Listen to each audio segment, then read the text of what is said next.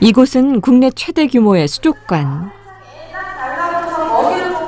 다양한 수중 공연이 펼쳐지는 곳이다. 그래서 함께 불러보도록 하겠습니다. 준비 되셨습니까? 하겠습니다. 한창 프로그램이 진행되는데 옥자 씨가 대기 중이다.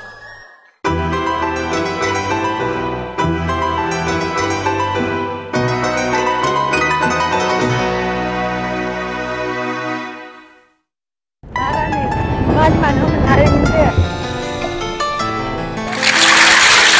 오늘 안 먹었어 야! 씨라는 자기다 그래 가져가면 되나? 그 때문에 야이가 키가 안 큼신가 지금 걱정이 되네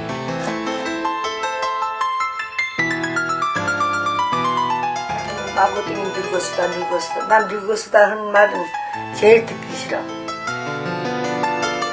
하루 옆에 앉아서 들어.